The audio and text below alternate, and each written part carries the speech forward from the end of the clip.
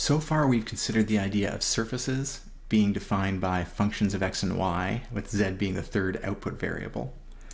Sometimes though we're not going to look at functions, but relations. So, so far all we've looked at have been functions. It's also possible to build relations where there's multiple outputs for a single input uh, when you're looking at several variable functions the same basic ideas that we talked about earlier apply when we talk about points on a real line. We say it belongs to R or R1.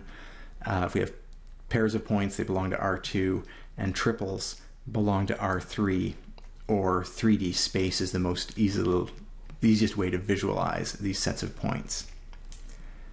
So we're going to look at some very simple relations in this course uh, because there's actually graduate work you can do when you look at relations uh, going forward in two and three dimensional space. There's some fun tie ins of algebraic geometry to encryption, and uh, anyway, huge hosts of complicated relations that can be created and imagined for various purposes. We're going to stick with fairly vanilla ones in this course. For example, if we were in R2 and asked ourselves, well, what shape is defined by the relation x squared plus y squared equals 25? I think we'd all leap pretty quickly if you flash back to that time to a circle. Circle of radius 5.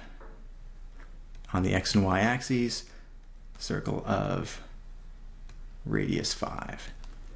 Simply because every point belongs to a triangle with x and y, and x squared plus y squared equals a constant, the constant radius squared, and all the points on a circle always satisfy that same distance from the origin criteria. They're all r squared, or all 5 squared away from the origin.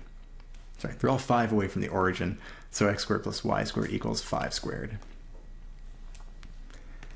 Now, we haven't really covered this in the fall term, but it's an important idea of just about shifting graphs, only here shifting relations. What happens if we keep the 25 the same, but put a minus 2 and a plus 1 inside our squared? So it's our intuition says this should be a circle again, but somehow it's different than the last one. Well, one way to look at this is to ask, well, there's a few different ways to look at it. I like to think of it in terms of shifting. If we just had ignored everything else, so ignore all this for a second, and had y equals x minus 2 squared we would have shifted things to the, remember it's the opposite of what you expect, we would have shifted it to the right by 2. The y value being plus 1, I'm going to argue it means it shifted down by 1. So at negative 1, 2 is going to be the center of a circle of radius 5. Now it's going to be too big for me to sketch out here, but try to do it justice. The radius is still going to be 5, and it's going to be centered at 2, negative 1.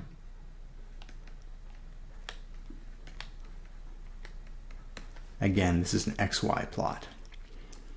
Can you verify this? Well, I hope so. we can validate this. One checkpoint that we can use is, well, if that's the center and this radius is 5, then the point 2, 5, does it satisfy the equation?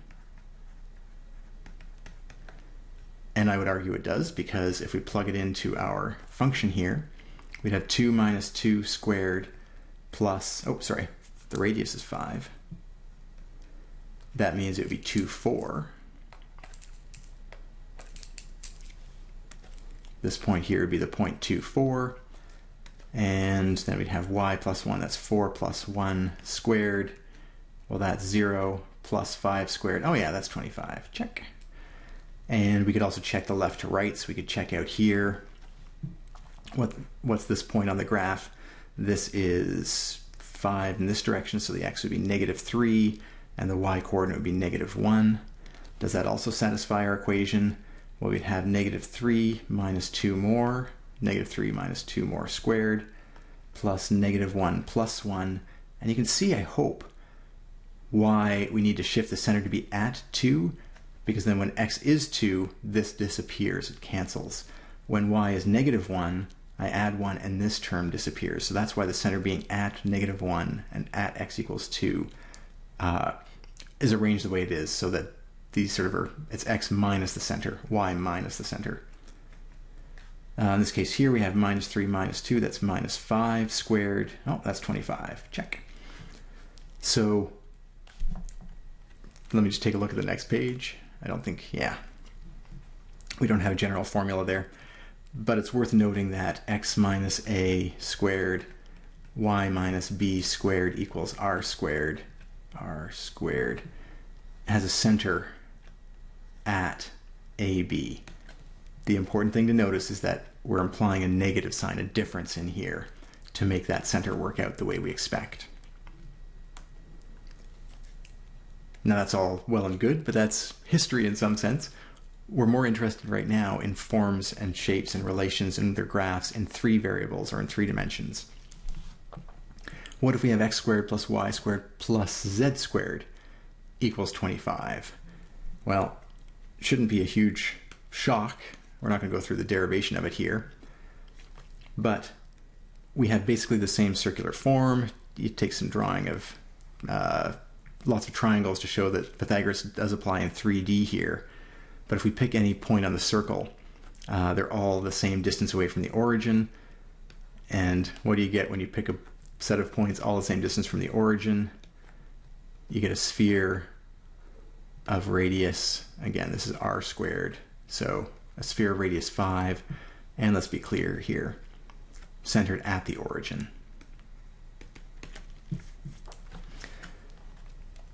All right.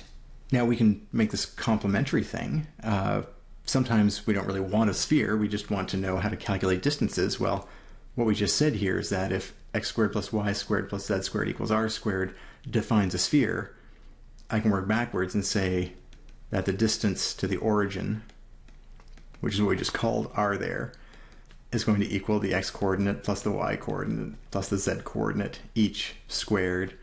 Uh, so the distance to the origin of any point, x, y, z, is going to be the square root of x squared plus y squared plus z squared.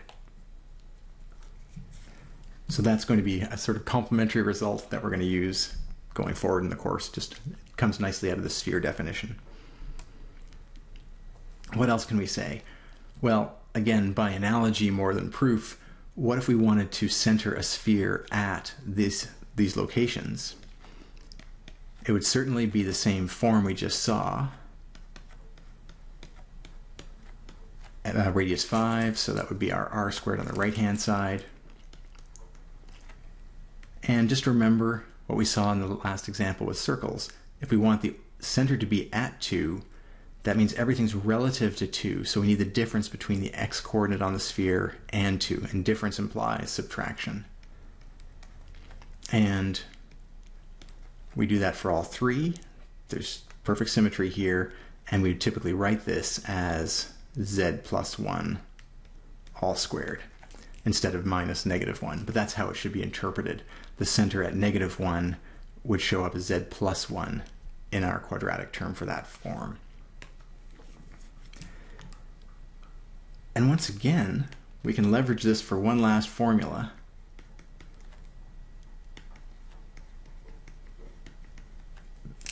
Sorry, let me just erase here. Distance to the center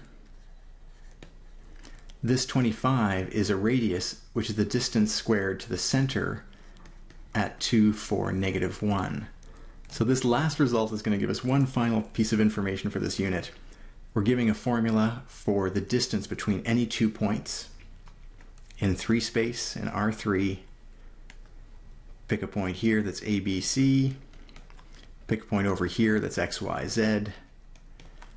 The distance squared between them well, think of what we just did here. Here we said x, the distance from x to 2, y to 4, and z to 3, that total distance between the point x, y, z and 2, 4, 1 is equal to a constant. Well, the distance squared then is going to be x minus a, y minus b squared, and z minus c squared.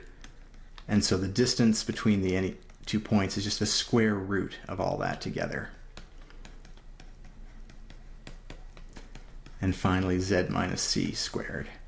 So the distance between the point ABC and the point XYZ, we just find the difference in the first coordinate, difference in the second, difference in the third, square each of those, and take the whole square root. It's very similar to Pythagorean formulas, and it's a very nice extension to three dimensions.